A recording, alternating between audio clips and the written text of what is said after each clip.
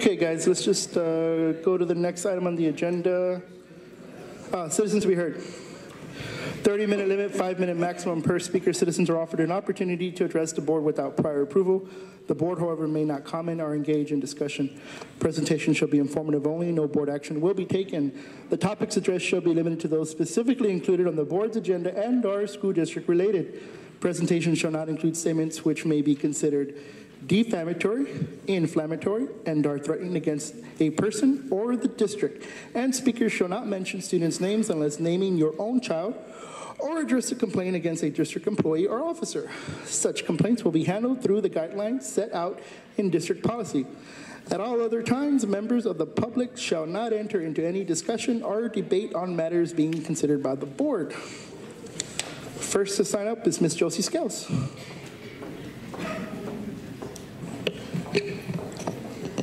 Uh, I'm just here tonight to say thank you to you board members for all that you do. Um, and I know it's kind of a thankless job, but believe me, we appreciate everything that you do. And also Mr. Madrigal and Cabinet.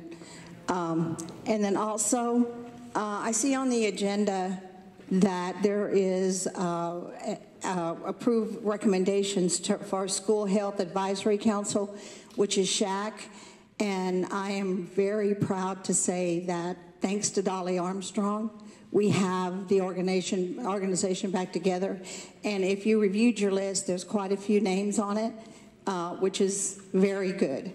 Um, and the majority of them have to be, and they are, parents with uh, that do not work in the district, which is is a hard thing to do now. But um, Dolly did it, and so um, I'm asking for y'all to approve that tonight. Um, and also, I want to remember, I want to remind the cabinet. I know it was on the announcements, but um, board members and cabinet. Founders Day is the 22nd, and you'll be getting your invitations, but we want you all to be there. Thank you. Thank you, ma'am. Second to sign up was Ms. Karina Salcido. Oh, I'm sorry, and let the record reflect Mr. David Abundis has joined us.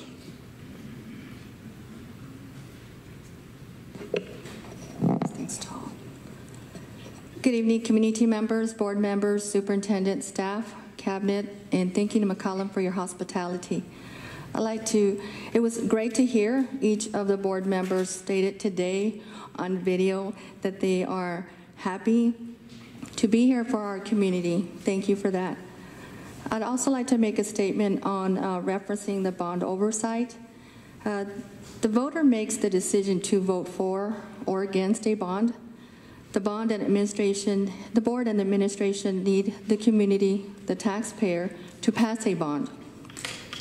As I recall, for the 2015 bond, our superintendent was very forthcoming in several meetings involving parents, such as the second cup of coffee at the high schools, encouraging them to vote for the bond by stating there would be no tax increase, and it's a no-brainer. Needless to say, the, the bond passed. The Harlandale Board of Trustees and its administrators wanted our vote to pass the bonds, wanted our money to pay for the bonds, and now the board does not want to hear our concerns on where, how the bonds or tax dollars are managed. We are told by our uh, Board of uh, Operations, our facilitator for the bond oversight meetings, that the building committee does not want our bond oversight meeting before it. They want it after. Our question there is, when was this decided? Why was it decided? And is this governance? Bond oversight meetings were always held before the building committee meetings. It is obvious, I would state, that the board and this administration do not want to hear our concerns. What happens on the next bond?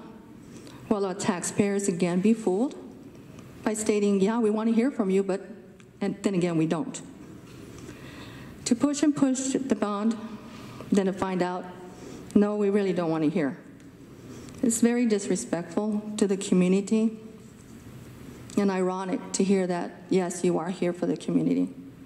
The second thing I want to say is about the land surveying, which is usually followed by an appraisal, The appraisal of property or commercial property. I again state, please do not sell this property. We are landlocked, and it's important to keep our property off 410, also known as the 101 acres. Let's keep our property and do not sell. Thank you for your time. Thank you, Ms. Salcido. Um, Next up was Mr. Victor Salcido.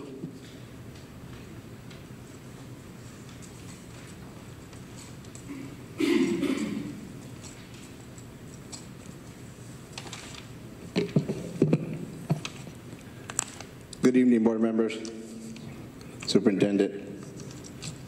I'm gonna talk about 7C2 on that property. I know we're gonna vote as far as to go get a survey on it or something like that. I'm pretty sure that costs some money. I remember, I think it was last year when we were gonna get an audit for the district, and uh, y'all voted no because it took money, and we're taking money away from the kids. Uh, This is gonna take money from the kids. And uh, I hear that y'all just doing it just because. Because I asked, are y'all gonna sell this land? Are y'all looking to sell this land? Y'all say no. So why go get it surveyed? Why go get it appraised and spend all this money? Okay, I think that's just waste of money. You know that land is ours. Okay, so what are we actually looking at? Uh, I know it came out on the news that the SAW, Saha, as far as, uh, you know, they're under investigation. And uh, there's something fishy going on because part of them is part of here. Look at the news.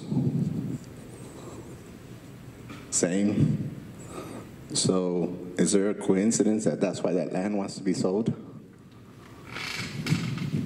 And that's where we're going on that trade? The news is there. Y'all say y'all don't have no money, but y'all are willing to throw it for a survey that we don't really need. How about some safety shoes for our custodians, for our maintenance that was taken away two years ago? That was taken away. Why? Because there was no money in the district. But yet we got money to go survey something that we know that it belongs to us, and we're not gonna sell it. That's what I was told. Y'all just wanna just survey it and see how much it's worth. You know, it's like I got a car. They asked me how much you want for it. I said it's not for sale. For real? Money talks. It's not for sale. I'll give you something. All right, you give a, a ridiculous price. Then they say, You're crazy. Why did you give them the ridiculous price? Because it's not for sale yet. Because if I really wanted to sell it, I would have a price, right? I would go get it appraised. I would go see how much it's worth. So, what is really going on? Don't lie to us. Why don't y'all say, Yeah, we're going to sell it? That's what we're looking at. Because the word sell has come out. Thank you. Thank you, Mr. Victor Salcido. And last up is going to be Ms. Gina Castaneda.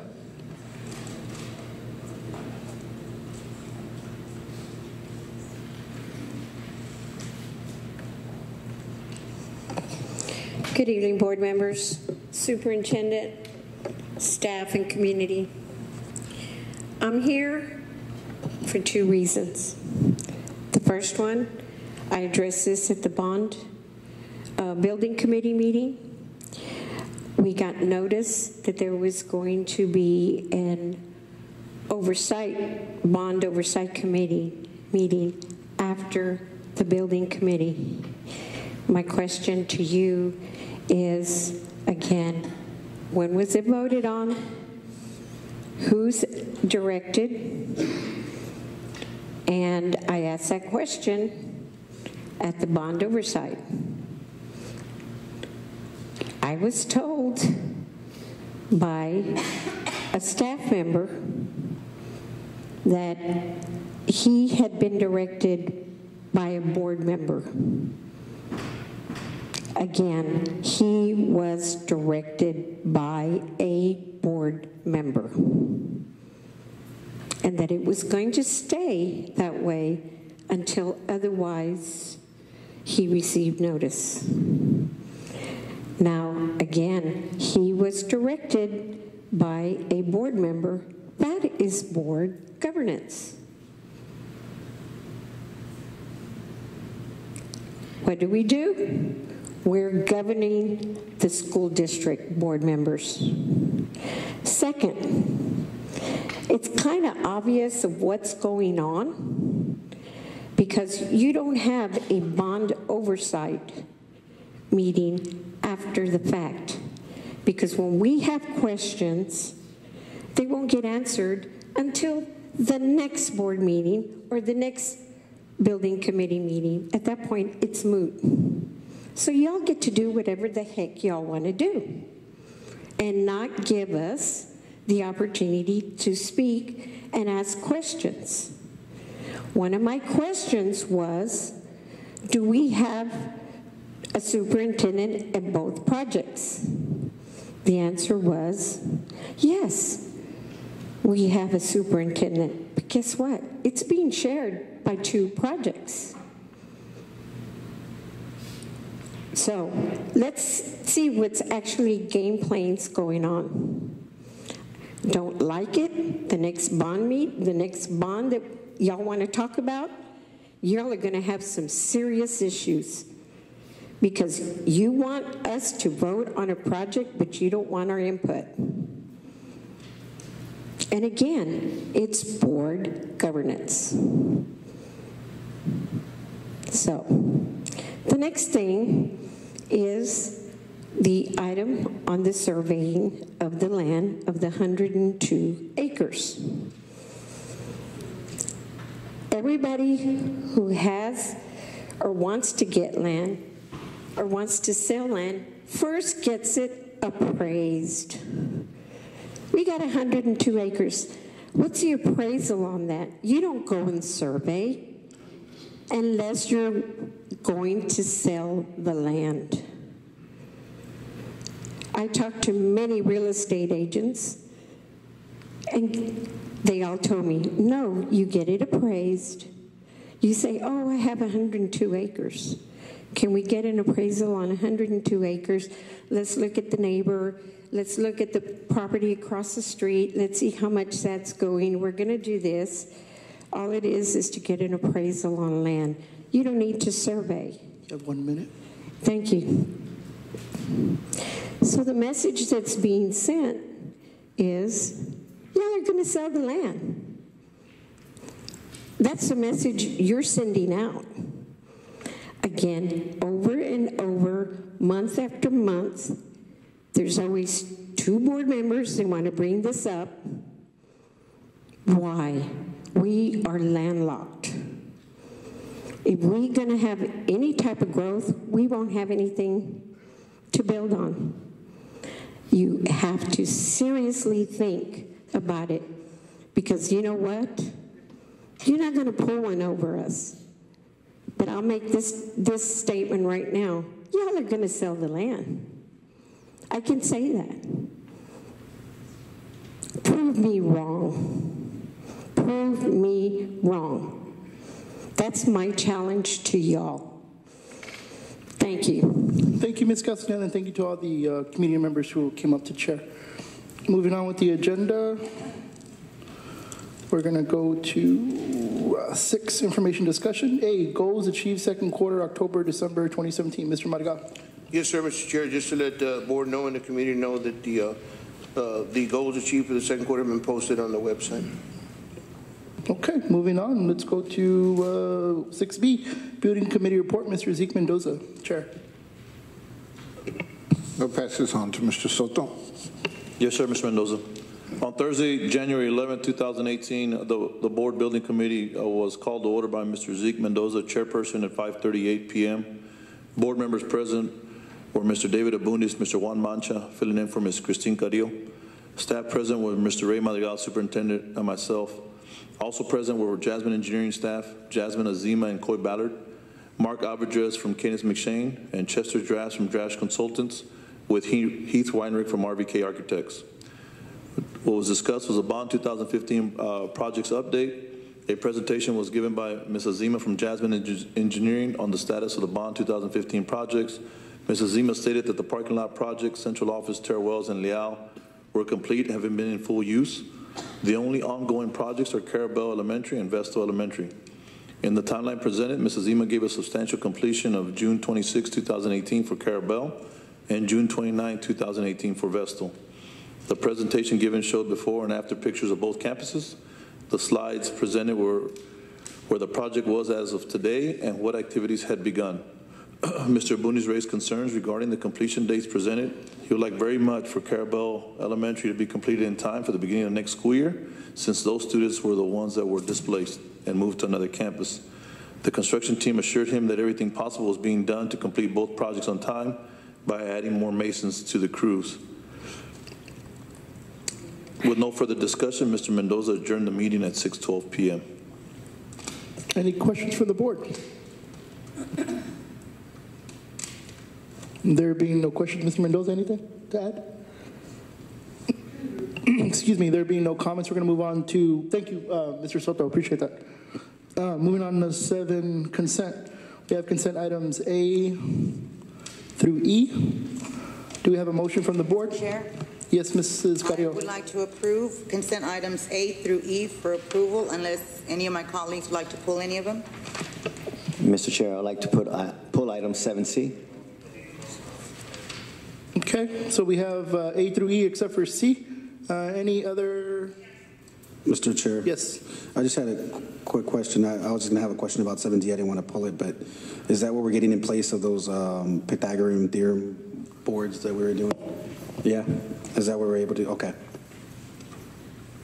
Okay. So we're just going to pull C, so A through E, do we have a? se- uh, I'll a sec- second that. So we have a, s- we have a, Excuse me, sec- Promethean, not Promet- um, Promethean boards.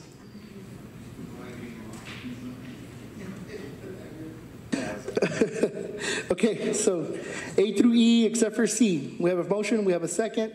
Uh, can- Do we have any discussion? No, be, there being no discussion, can we take a vote? All those in favor? All those, okay, actually, the motion carries unanimously. Okay, back to C. 7C, consider and take appropriate action on the request to award RFQ land surveying services. Mr. Bundis? Uh, Move to approve. Mr. Bundis moves to approve C. Do we have a Second. second? I have questions. Um, Okay. In regards to uh, 7C, um, I, I- guess what we can do then is, um, we had a second from Ms. Carrillo. So then we're going to do the second, then we're going to do the discussion, right? So then, so now Mr. Tejeda. okay. so I have a couple questions in regards to 7C. Um, The community is making a point here in regards to why are we surveying instead of going out for an appraisal? Um, A lot of times they are mentioning the fact that we are going to sell this land. Uh, Survey does kind of, kind of push that. I want to kind of make this a point that one of the reasons why I'm kind of going against this is um, I think a, an appraisal needs to be done first. Okay, if I'm not mistaken, and Al, I know uh, Albert's not here, um, but the reason why we needed to do the survey was because we are going to reserve some land. So, so anybody who's interested, for first of all, the appraiser, I know who might be interested in buying it, needs to know exactly what they're getting uh, when they do, I guess, put it up for sale. Because if they do put up, for, when they do put up for sale, because th- they're reserved. So we're not just, it's not that whole plot. Keep on talking about that hundred acres or whatever it is. But again, you mentioned the word sa- sale, and that's what everybody has in their mind at this moment, that it's a sale. And we have to make sure that it's clear that right now we're going to go for the survey and that we're going to go ahead and appraise this land, not for sale. We're going to appraise it to get a value for it. So if we want to make that clear, uh, that's what the community is looking for at this moment. Mr. Chair, Yes, sir. I just want to make a correction to Mr. Tejeda. It's not everybody is saying, it's just a few people saying. Thank you. Okay, so we had. But if uh, it is just a few, it is several people in our community speaking. So that is something that is vo- being voiced. And um, we had a couple of people bring it up in this, in this meeting alone that has to be kind of considered as a board to kind of be very sensitive to this situation. So your original question, Mr. Tejeda, was it answered? I guess more of a clarification, because right now, we need, we need to make sure that the, the committee is aware that this is not a sale. We are going out for an appraisal to kind of get a price for the actual land. Sure. So, so the item actually says, consider and take appropriate action for the request for RFQ for land surveying services. That's the only thing on the agenda today. I just want to make that clear. Um, Is there any more discussion? Actually, Mr. Chair, Yes, sir. it's uh, courtesy that the person who pulls the item is the first one to speak on it. I apologize, Mr. Bonilla. That was you want to add? My question's quick, actually. I I just wanted to know, because you, who actually, uh, Mr. Soto or Mr. Madrigal, who actually uh, ranked these? Because you guys just gave the, I guess, the average of, of, of everybody. So who actually, who, who are the members of our staff that, The, the, right. the members of our staff were uh, Mr. Soto, myself, and Mr. Blakeney.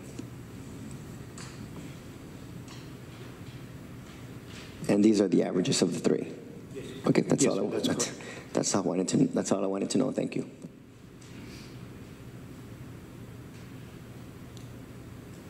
Okay, so back to the, I'm sorry, Mr. Bundy, were you finished with your, th- with your thoughts?